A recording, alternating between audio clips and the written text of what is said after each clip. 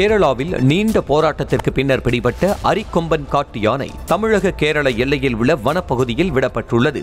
மனிதர்களை கொன்று அட்டகாசம் செய்து வந்த அரிக்கொம்பன் காட்டு யானையை கும்கி யானைகள் மற்றும் கிரேன் உதவியுடன் வனத்துறையினர் பிடித்தனர். சின்னக்கானல் பகுதியில் பிடிபட்ட அந்த யானை தேனி மாவட்ட எல்லையான கூடலூர் அருகே உள்ள மங்களதேவி கண்ணகி கோவில் அமைந்துள்ள வனப்பகுதியில் விடப்பட்டுள்ளது. அப்பகுதியில் விட பொதுமக்கள் எதிர்ப்பு தெரிவித்து போராட்டம் நடத்தக்கூடும் என்பதால் குமுளி மற்றும் தேக்கடி உள்ளிட்ட பகுதிகள் பகுதிகளில் நூற்று நாற்பத்தி நான்கு தடை உத்தரவு பிறப்பிக்கப்பட்டது.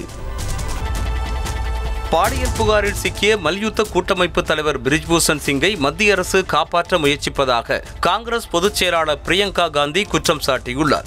மல்யுத்த வீராங்கனைகளுக்கு பாலியல் துன்புறுத்தல் தந்ததாக இந்திய மல்யுத்த சம்மேளன தலைவர் பிரிஜ்பூஷன் மீது நடவடிக்கை கோரி மல்யுத்த வீரர்கள் ஜந்தர் மந்தரில் போராட்டம் நடத்தி வருகின்றனர்.